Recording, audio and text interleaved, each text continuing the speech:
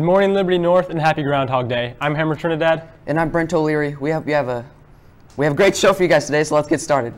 The BSU will be hosting a movie night February 9th. It will happen right after school in the library. They will be showing The Great Debaters, and the entry fee is only $1. Everyone is welcome.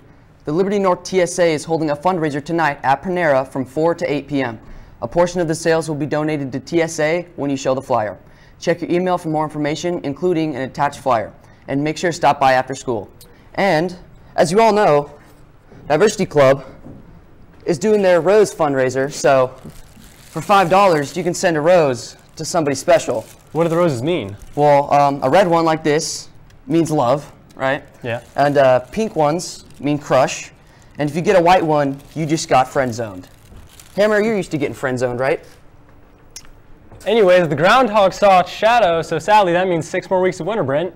And we had Joe go interview some middle schoolers about that, so let's go check it out. I'm at SVMS, and I'm about to ask some kids if they know anything about Groundhog's Day. Do you know what Groundhog's Day is? Uh, they pull a rodent out of the ground. Okay, Have you ever seen a groundhog before? Not in real life. So, do you know what Groundhog's Day is? Yes. And what is that? Groundhog's Day is if a groundhog sees its shadow, that means spring is coming. Have you ever even seen a groundhog? No.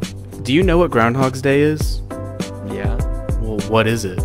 it's like a day where like the groundhog comes out and it tells you um, something. I don't I don't remember what it is. Yeah, I'm sure. Have you ever even seen a groundhog?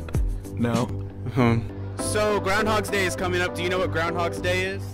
I mean, I've heard of it, but I don't really know a lot about it. Do you know why it's called Groundhog's Day?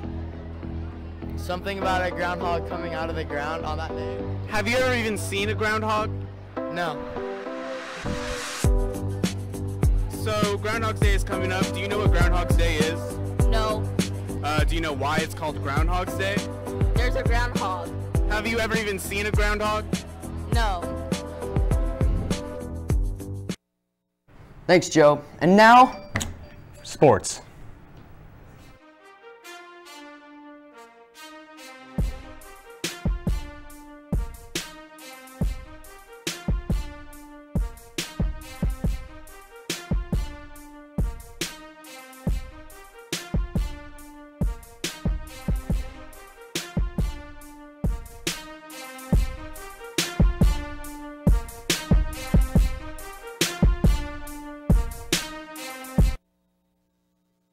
Liberty North, and welcome to VP Sports. I'm Peyton Price. Jordan is not here today, but it's okay. We have a short show, so we'll get through it without him.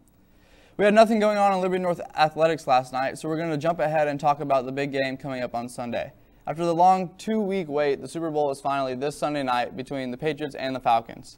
I'm excited about this one. I think it's going to be a high-scoring shootout, and might come down to who has the ball last in their hands, either Matt Brady Matt Ryan or Tom Brady. Both teams' defenses are definitely going to have to step up and have a chance in this to give their team a chance in this game, as both offenses are going to be flying the ball around and getting the balls to the receivers plenty.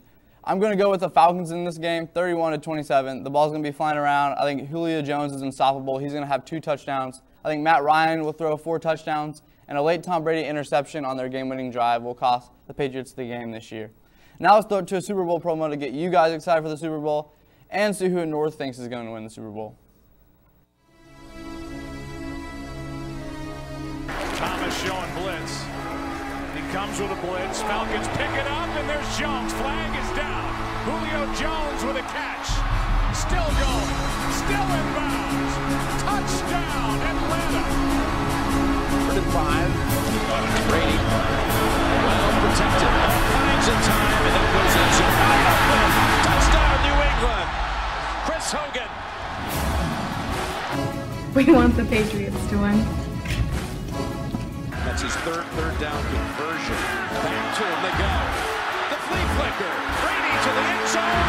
And it's a New England touchdown. Right back to Hogan again. I think the Falcons are going to win the Super Bowl. Uh, yeah, probably. Let's go 27 21. They're all up on the line for Green Bay. Now some back out. End zone. Jones. Touchdown. New England's going to win the Super Bowl because you don't bet against Brady and Belichick. Now Chris Hogan wide open. He's got 180 yards.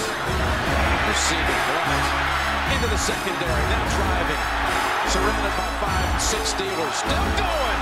Can you believe it? And helping out the offensive line now for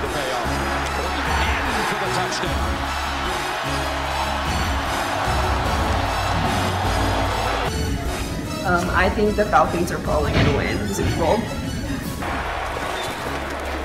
Second down, Ryan escapes, gonna run, has some room and a touchdown.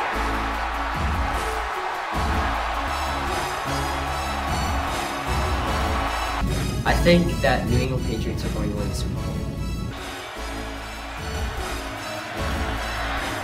Airing it out, and that's intercepted. What an interception, stepping right in front of this Rowe. Eric Rowe tiptoes down the sideline.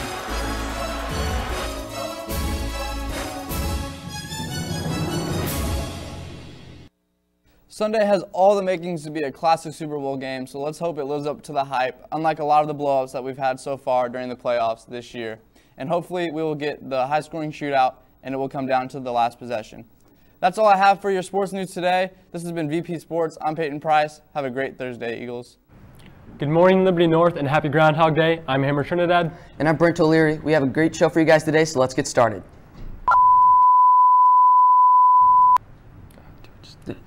Good morning, Liberty North, and happy Groundhog Day. I'm Hammer Trinidad. And I'm Brent O'Leary. We got a great show for you guys today, so let's get started. I'm not doing it again. Good morning, Liberty North, and happy Groundhog Day. I'm Hammer Trinidad. And I'm Brent O'Leary. We got a great show for you guys today. Let's get started. Get it? It's Groundhog Day. And please stand for the pledge. I pledge allegiance to the flag of the United States of America and to the republic for which it stands, one nation, under God, indivisible, with liberty and justice for all.